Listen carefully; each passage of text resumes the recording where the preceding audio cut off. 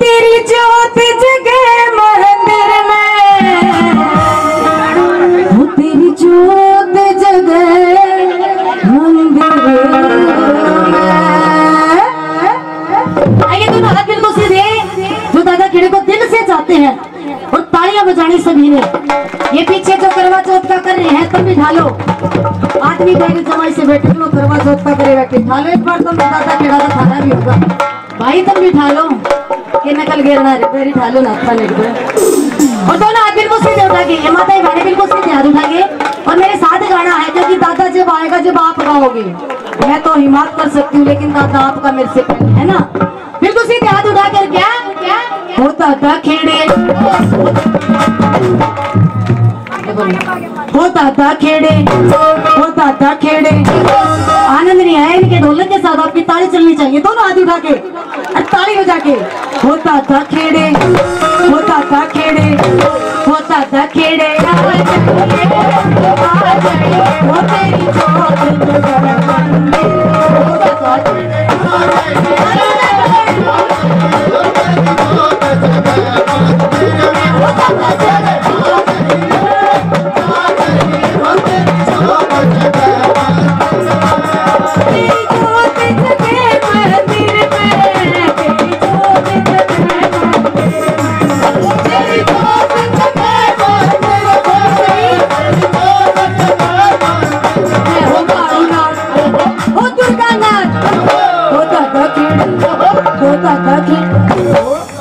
कहिड़े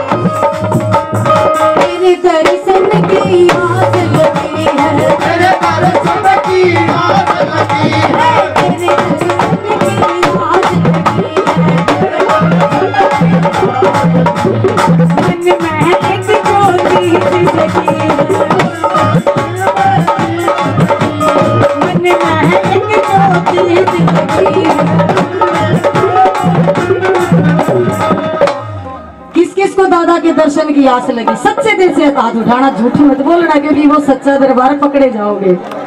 और खड़े होके कौन कौन हाजिरी लगाना चाहती? सच्चे दिल से उस दादा के लिए।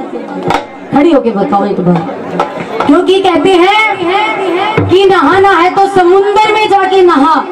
इन किनारों पे क्या रखा है? ध्यान से सुनना।